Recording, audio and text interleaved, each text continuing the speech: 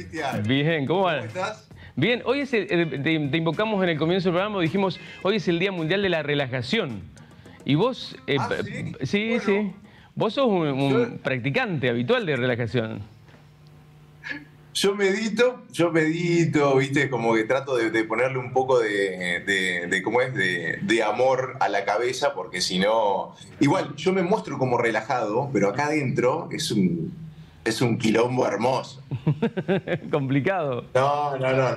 De relajado a veces no tengo. Depende, depende para qué. Depende para qué. Al que veo muy relajado en el estilo y demás, es a vos. Bueno, pa- parezco abandonado, me dicen. Vos, vos sos un, vamos, a- vamos a poner las cosas en, en las manos de un especialista. Él es un, un entendido en, en imagen y todo eso. ¿Parezco que no me baño o, o zafa esto? No, está espectacular, canchero.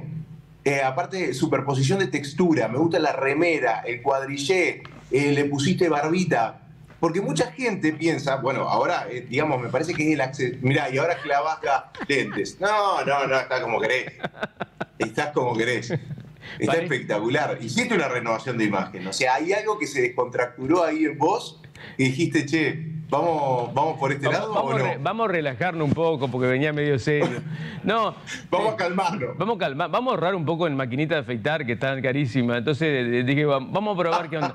En veintipico de años, 22 años del programa, nunca me ha dejado la barba. Porque antes viste que en la Bueno, tele era, se veía mal, la, la, la barba daba como feíto. Esas cosas han ido cambiando, ¿no? Vos has, ido- has sido testigo de todos esos cambios.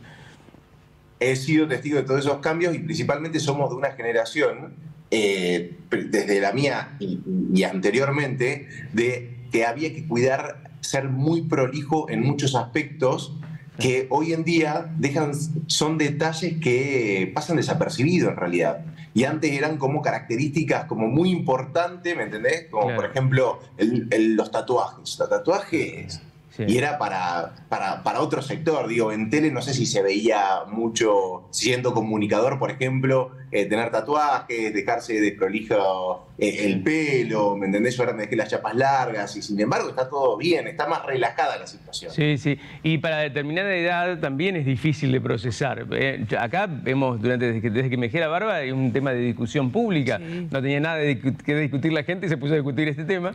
Y me, la mitad me dice, me dice, no, si me gusta, me, eh", y la otra mitad te dice, no, bañate, es, es hora de que te afeites, te feo. No están acostumbrados tampoco. Lo que pasa es que es todo lo contrario, porque la barba y tener la barba prolija implica un cuidado, te diría que cada tres días tenés que Sí. estar eh, prolijando y demás. Sí, sí, Así, sí. Y haces honor, y haces honor, digamos, en cierto aspecto a tu apellido, así que está muy bien. Está bueno eso, lo voy a, lo voy a tomar. Bueno, eh, Axel, Implementalo, lo- implementalo. Lo, voy a tomar. ¿Qué, qué, mm, qué te- qué vas a venir a hacer a Paraná? Voy a Paraná feliz porque por fin puedo quedarme eh, más de dos días allá. Ah. Eh, vamos a estar el 14 de septiembre en MidLab junto con mi amiga y socia Chicha Canepa. Vamos a estar presentando moda e identidad digital, que en realidad pasa a ser un encuentro de 4 o 5 horas en el Gran Hotel Paraná eh, para, para poder ayudar a brindar herramientas y conocimientos acerca de lo que son las redes sociales, ¿no? Digo, el- hay mucho emprendedor, hay mucha gente que tiene ganas de conocer su presencia digital y queremos acercarnos de nuestra propia experiencia y con todo lo que hemos aprendido eh, desde nuestra profesión y yo ya a punto, a tres meses de ser locutor, Mirá, eh, no sabía que estabas no, estudiando. no. ¿Estás estudiando locución? Sí, sí, no, se pasó rapidísimo en Ether. Mira Eh, así que. Muy, contento por eso. Digo, bueno, ¿qué es lo que nos pasa a nosotros hoy como modelos? Como modelos, como una persona que quiere emprender en redes, como una persona que quiere eh, generar un perfil profesional. Bueno, ¿cómo generar contenido de calidad? Bueno, nosotros nos acercamos a Paraná porque se dio y me parece espectacular que así sea, como nuestra primera masterclass que se dé en, en Paraná. Eh, y vamos a abordar un montón de, de- de aspectos, digo, desde la comunicación digital, las estrategias de marketing, desde el contenido, digamos, audiovisual que hoy se necesita para poder eh, eh, conectar con la audiencia, generar comunidad. Así que estamos muy contentos Eh, Así que no es para modelos, ¿no? porque eh, en otras oportunidades has venido a hacer cosas exclusivas para, para los modelos. Aquí es para, emprendedores, para la comunidad en su conjunto para, para la comunidad en su conjunto, para aquellas personas que quieran eh, investigar un poquito más en qué hago en las redes sociales, digo, me la paso mirando Instagram, me la paso haciendo selfie, quiero mostrar que estoy haciendo tejido, que estoy vendiendo tazas, lo que fuese. Digo, bueno, ¿cómo, cómo me conecto con eso y cómo eh, eh, puedo emprender a raíz de, de, este, de este concepto que es digital? Y muy contento porque tenemos varias sorpresas. Vamos a tener eh, la presencia eh, de eh, personas que profesionalmente se dedican al nómade digital. esto de poder trabajar en forma remota desde cualquier parte del mundo a través de la tecnología hoy, desde un celular, una computadora, conectados a Internet.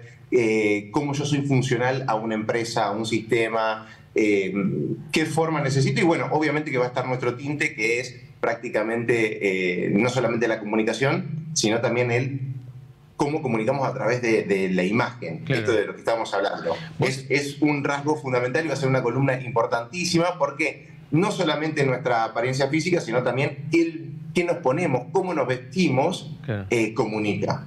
Así que los esperamos a todos, que me parece que, no sé, yo estoy enamorado del proyecto que surgió, porque aparte va a ser interactivo, con pantallas, eh, con trabajo digital, cada uno con su celular, se llevan un book de fotos, eh, con, con, fotos profesionales, le enseñamos a hacer un storytell. ¿Qué es eso? ¿Querés contar tu historia de cómo te dejaste la barba en YouTube? Bueno, te damos las herramientas para que lo puedas hacer, así que muy copado. Qué bueno, además te está saliendo, bueno, nunca hiciste solamente modelaje, siempre hiciste otras cosas alternativamente, por eso me sorprende, pero no tanto el hecho de que hayas decidido encarar la carrera como locutor, además siempre comunicaste muy bien. Bueno, a mí, lo que me, a mí lo que me pasó en realidad, empecé estudiando locución por una cuestión, por una frustración, porque hago un casting para conducir un programa eh, en, Quiero, en, Quiero Música, nada, un programa de música, eh, llego hasta la última instancia, me siento para firmar el contrato, empezábamos en 15 días posteriores a eso, y me dicen, che, necesitamos tu, tu carnet. ¿Carnet de qué? Eh, no, el carnet habilitante para, para, digamos, todas las pautas que necesitas después locutar. No, no, pero yo no soy locutor. ¿Cómo que no?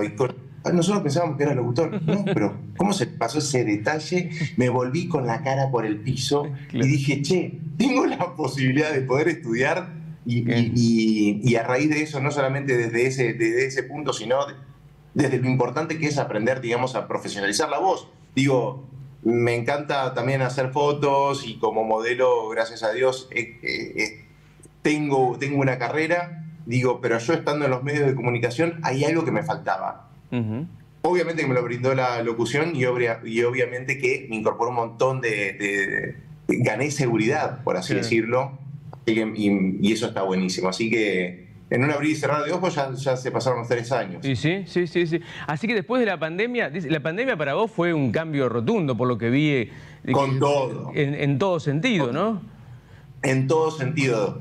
Desde eh, mi sexualidad, desde trabajar eh, mis conceptos profesionales hacia dónde yo quería estar, desde las ganas de emprender y empezar a decir, che, tengo ganas de ser mentor o, creador de, mi propio camino. Digo, está bien que uno como modelo o como, o como artista siempre elige, pero digamos, las opciones muchas veces vienen no creadas por uno, sino porque eh, el mismo sistema o el mismo ámbito profesional te las va acercando. Claro, claro, claro.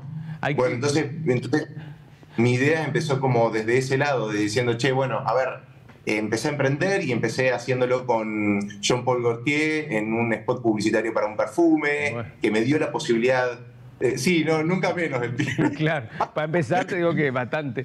Pero es, muy inspirador, digo, para otra gente que debe estar atravesando por lo mismo, ¿no? Me parece que los tiempos que vienen van por ese lado. Eh, no tanto la dependencia, el que entrar a trabajar en un lugar y quedarte para toda la vida, sino que ir buscándole la vuelta todo el tiempo. Eh, una cosa que por ahí para nuestros padres, nuestros abuelos era impensado, pero que en esta época y en los momentos que, el futuro nos depare van a ser vitales, ¿no? Lo que cada uno puede hacer con, sigo uno mismo como producto y como forma de vida, como instrumento de vida. Así que está bueno. Para quienes quieran tener más información, decime un Instagram, una, alguna dirección. Obviamente, sí. Eh, se pueden comunicar con nosotros en eh, arroba en Instagram, por ejemplo, tienen todos los datos, arroba midlab agency. que está, está buenísimo. Recién empezamos con, con, la red social, pero ahí encuentran toda la data. O si no, nos mandan un email a midlab.gmail.com que le mandamos eh, el PDF con toda la información, formularios, el, el, costo, o sea, todo, pero está todo impecable, así que para esperarlo, para que también es una experiencia lo que vamos a vivir, eh, interactiva, digital, eh, con mucho conocimiento, pasarla muy bien, comer rico, con un montón de, de marcas que nos que, nos acompañan, así que y si no que te escriban a vos. Si no que te escriban a vos, a tu... A tu y si no que me escriban a mí, claro, arroba Axel Nerio Ok, fantástico. Axel, como siempre, un gusto charlar con vos, ¿eh? Y nos vemos en la, en la próxima.